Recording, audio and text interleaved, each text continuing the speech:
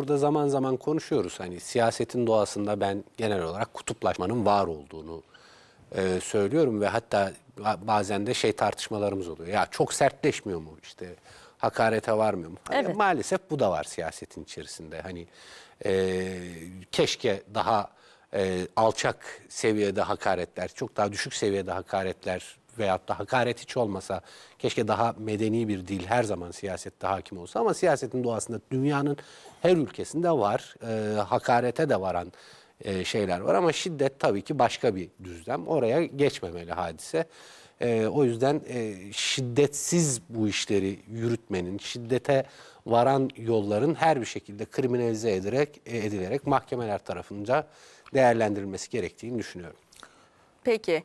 Ee, Ruşen Bey benim bu konuda söyleyeceklerim e, var demiştik. Evet. Kendisini dinleyelim. Bir kere e, her zaman söylediğim gibi e, hukukta çifte standart olmaz. Kim şiddet dilini çağrıştırıyor, kim şiddete başvuruyor, başvuruyor, kim olursa olsun üzerine gidilmesi lazım.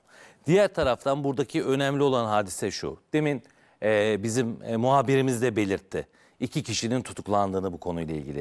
Ama az evvel vurgu yaptım. Dedim ki e, bu başsavcıyı, başsavcı vekili Alpaslan Tur- Turan ee, Alpaslan Bey'i, Alpaslan Tufan'ı, Tufan özür dilerim, hedef gösteren Twitter'da bazı yayınlar oldu. Bu Twitter'daki yayınların sahipleri gene ülke ocağı içerisinden olan bir başkan, gene genel başkan yardımcısı teşkilatlardan sorumlu, MHP MYK üyesi Murat Kotra, Arnavutköy o, o, Ülke Ocakları Başkanı Emrullah Günay, MHP Mersin Milletvekili Olcay Kılavuz, Başsavcı Vekili Alpaslan Tufan Adalet Bakanlığı'na mı yoksa Serok Ahmet'e mi e, çalışıyor diye e, Sayın Ahmet Davutoğlu'nun fotoğrafıyla bir başsavcı vekilinin fotoğrafını paylaştılar. Bakın elbette ki MHP ne dedim bu ülkenin en köklü partilerinden biri. Elbette ki ben kalben inanıyorum ki böyle talimatları veren MHP olamaz ya da CHP olamaz. Hiçbir siyasi parti buna e, şey tutamaz. Fakat başlamış bir soruşturmada bir başsavcı vekilinin yalnız bırakılması, bu şekilde hele hele iktidar ortağı olan bir siyasi partinin sorumluları tarafından hedef gösterilmesi ve soruşturmayı kapat anlamına gelebilecek e, açıklamalarda bulunması ben o görevlerde olduğum için biliyorum.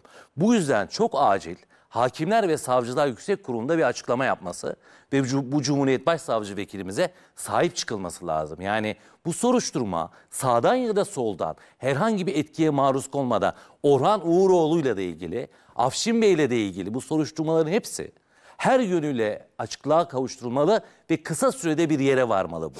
Ki bu anlamdaki şeye e, geleceğe dönük. Çünkü ben en büyük endişem şu Başak Hanım. Bugün biz bunları konuşuyoruz. Bu siyaset dilinin çok ağırlaştığını, çok ciddi anlamda e, hakaretlere varan karşılıklı açıklamalar olduğunu görüyoruz. Ancak şunu sağlamak zorundayız. Elbette ki biz Hasan Basri Bey ile biz bir yıldır hocamla burada farklı fikirleri, karşıt fikirleri tartışıyoruz. Ama bu ona saygıda kusur etmemi gerektirmeyecek bir şeydir.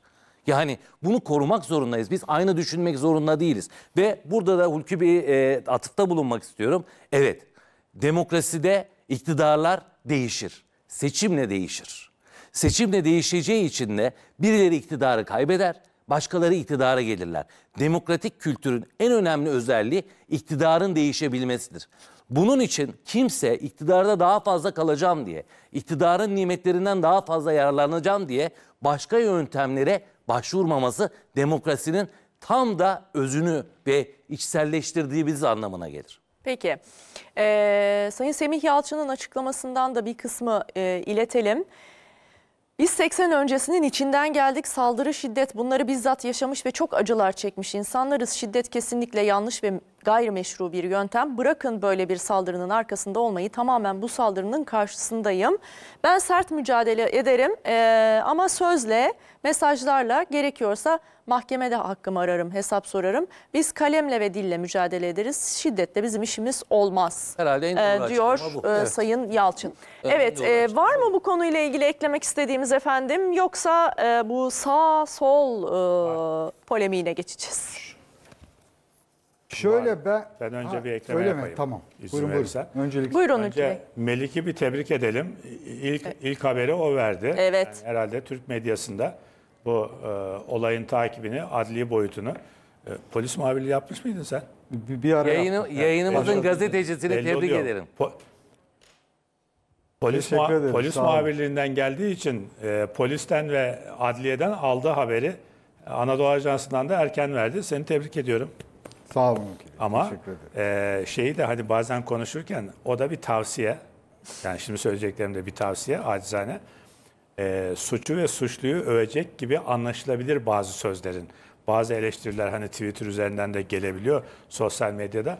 Onlara da dikkat etmekte fayda olabilir. Valla ben Hani- onu dikkatli bir, dakika, şekilde ha, söyledim söyle, ama onu- ona rağmen hala yanlış mı ısrarla bir kesim yanlış anlıyor. Olayı küçümsediğimi, sıradanlaştırdığımı, bence sen onu- önemsemediğimi. Ne demek istediğini bir kere daha net söyle ki hani Yo yani ben e, şöyle e, bence. bu, bunun hani e, şimdi e, şeyin bugün Fuat Uğur da köşesinde yazmış Süleyman Soylu ile konuşup e, diyor ki şey e, Süleyman Soylu e, bunun bir tepkisel e, bir saldırı olduğunu düşünüyorum diyor. E, toplumumuzun bir hayli bu türden saldırıları fırsat bilen birileri olaylara tırmandırırsa ne olur diye. Sayın Soylu da bir kere şunu bilmenizi istiyorum. Türkiye Cumhuriyeti Devleti, özel olarak bakanlığım, emniyet teşkilatımız, istihbaratımız ve her kademeden polisimiz kesinlikle uçan kuştan haberdar olmakta. Önce herkesin içi rahat olsun diyerek başladı. Sonra bu e, travmatik dönemleri atlatmamız gerekir. E, sükunete ihtiyacımız var. Bu yüzden hep bir şeyler oluyormuş gibi teyakkuz hali işte ruh, ruh halimizi bozuyor. Biz her şeye e, hakimiz. Uçan kuştan haberimiz var. Yani e, şimdi bunu bu- ve olayların tepkisel olduğunu düşünüyor. Şimdi e, hani ben de sözünde. çok sistematik e, böyle e, provokasyona götüren işte devamında başka büyük olayların olacağı e, falan hani böyle bir yere gitmeyeceği e, e, öngörümü, tahminimi paylaşmak açısından e, söyledim bunu. asabı bozuk derken Evet aslında yani asabı kastediyorsun bozuk derken yani. de hani bir şekilde MHP e, oy vermiş. Bu insanların söylediklerinden dolayı kafası bozulduğu için saldırdı derken bunu küçümsemek, yok saymak, e, sıradanlaştırmak anlamında söylemedim. Sadece hani örgütlü, sistematik bir yerden talimat alarak olduğunu düşünmüyorum. O manada e, söyledim ki Sayın Bakan da mesela bunu organize bir şey olduğunu düşünmüyorum. Tepkisel bir şey olduğunu düşünüyorum diyor Sayın İçişleri Bakanı. Peki. Belki burada tek vurgu şu olabilir. Ee, bu ben sürekli biliyorsunuz Başak Hanım programlarınızda vurguluyorum. Yargıya intikal eden konularda açıklama Adalet Bakanlığı tarafından yapılır. Ya Ankara Cumhuriyet Başsavcılığı bir basın açıklaması yapmalı ya e, Hakimler ve Savcılar Kurulu Başkanı olan Adalet Bakanı bu anlamda açıklama yapmalı.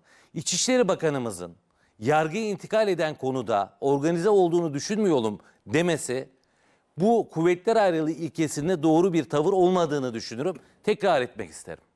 Peki. Ee, o zaman Ama orada not, Fuat Uğur not düşmüş. Ee, e, orada Fuat Uğur köşesine not düşmüş. Ee, yani e, daha polis aşamasındayken konuştuğunu. Efendim, polis- saldırı hiçbir polis, Cumhuriyet sonra polis savcısı- failleri ararken. Hiçbir so- polis, Türkiye'de hiçbir polis Cumhuriyet Savcısından talimat almadan harekete geçmez. Dolayısıyla her Yo, bir doğru, soruşturma haklısınız.